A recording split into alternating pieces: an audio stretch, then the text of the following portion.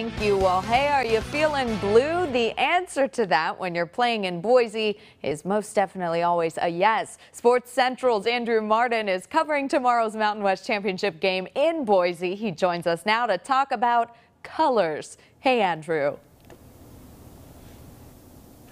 Megan, tomorrow's game between Fresno State and Boise State for the 2018 Mountain West Championship will be the latest chapter in the rivalry. Now, these two teams have met a lot, and we talked about that earlier at 5 o'clock, but What's unique about this particular setting is the blue turf. Now, Boise State is world famous for the blue turf. It's actually trademarked, if you can believe that. Fresno State has not had much success on the blue turf. In fact, the Bulldogs have never beaten Boise State on this blue turf. They have won twice here before, two bowl games in 2004 and 2007. But the last time the Bulldogs beat the Broncos in Boise was 1984, 34 years ago.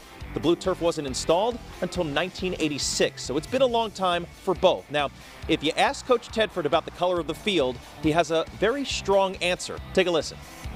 To me, that field is 53 and a third yards wide and it's 100 yards long and it has lines on it just like every other field. So, you know, when we get out there on the field, our, our eyes shouldn't be looking down at the blue turf. Our eyes are looking across at our opponent and doing our best to compete and, and uh, try to be successful. Coach Tedford obviously has a lot of respect for Boise State, but that's what he thinks about the color of the field. And by the way, Coach, you're not the only coach to lose here on the blue turf. Since 1970, Boise State has the second highest winning percentage of any and I mean any team in college football at home. Number one, Alabama. It's pretty good company.